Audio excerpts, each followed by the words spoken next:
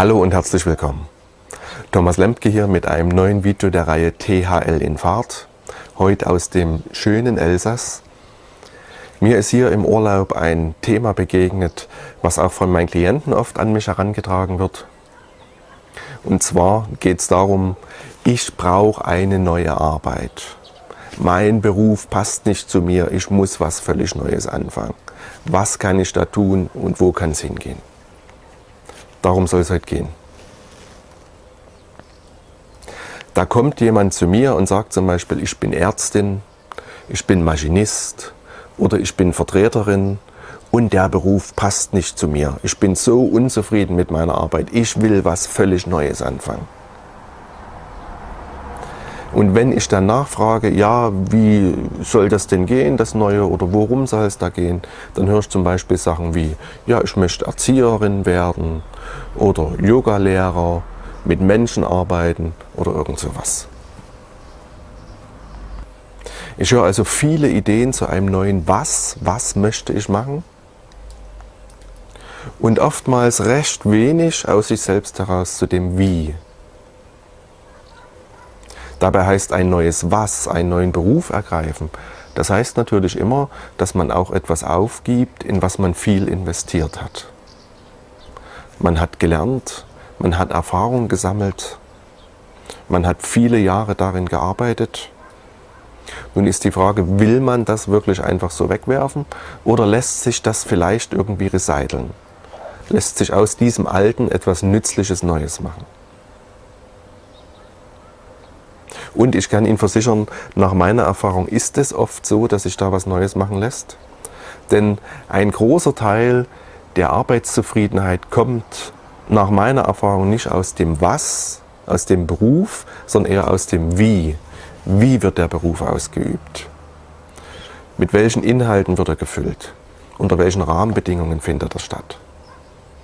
Wenn Sie sich zum Beispiel vorstellen, ein Arzt, da macht es doch einen wesentlichen Unterschied, ob ein Arzt in einem Stadtkrankenhaus arbeitet im Schichtdienst oder zum Beispiel auf dem Land in eigener Praxis.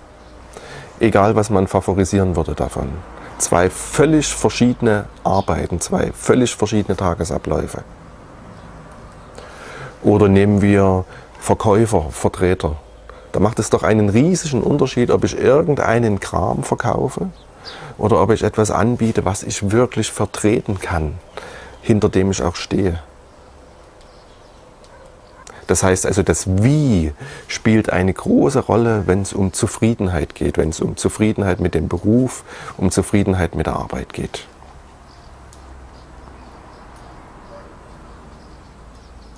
Es lohnt sich also über das Wie nachzudenken.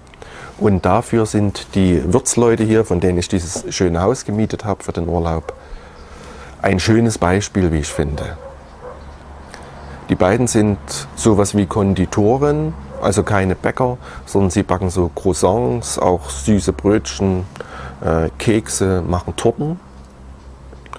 Und vor Jahren stand so die Frage, ja, jetzt haben wir ausgelernt, jetzt haben wir so als Gesellen gearbeitet sozusagen. Machen wir uns selbstständig oder machen wir es nicht? Und dann war klar, bei einer Selbstständigkeit üblicherweise heißt das, man mietet sich irgendwo einen Laden, da gibt es unten oder daneben eine Backstube, da fängt der eine früh um sechs an zu arbeiten, dann kommt der andere, macht irgendwie um neun, um zehn das Ladengeschäft auf und hat dann dort bis abends um sechs, um sieben, um acht oder so zu tun. Das war für die beiden als junge Leute, die auch in Familie zusammenleben wollten, jetzt keine besonders attraktive Idee. Sich vorzustellen, der eine fängt früh um sechs an zu arbeiten oder noch vorher und der andere kommt dann abends um acht oder um neun nach Hause. Ja, nun war die Frage aber, wie soll es weitergehen mit der Berufslaufbahn? Weiterhin immer angestellt bleiben, das sollte es auch nicht sein. Konditor sollte es schon sein ja, was macht man dann? Und ich finde, Sie haben eine gute Möglichkeit gefunden. Denn jetzt sind hier in Frankreich gerade Ferien.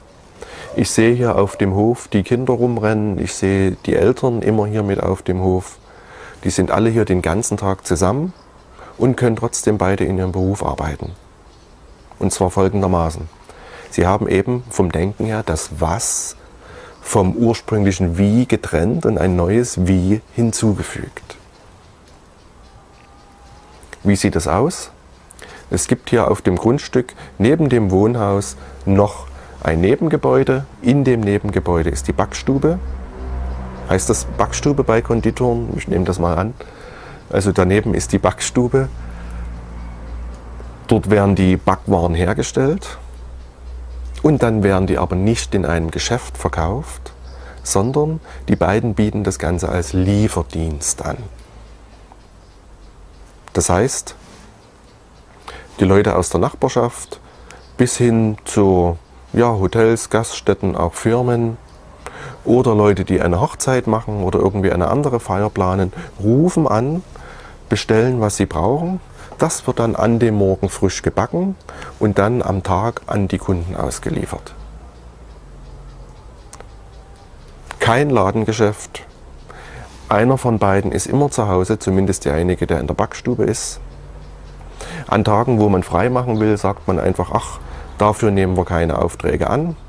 Bei einem Laden sieht das immer komisch aus, wenn dann alle daneben an aufhaben und dann steht da auf einmal, wir haben heute geschlossen, weil wir gerade Lust dazu haben. Wie ich finde, ein schönes Konzept und ein schönes Beispiel dafür, dass es sich lohnt, vom Denken her das Was vom Wie zu trennen, wenn es um den eigenen Beruf geht. Führen wir uns doch mal vor Augen, wir können einen Beruf nicht denken, also dieses Was, dieses Wort des Berufes, diese Tätigkeit nicht denken ohne ein Wie.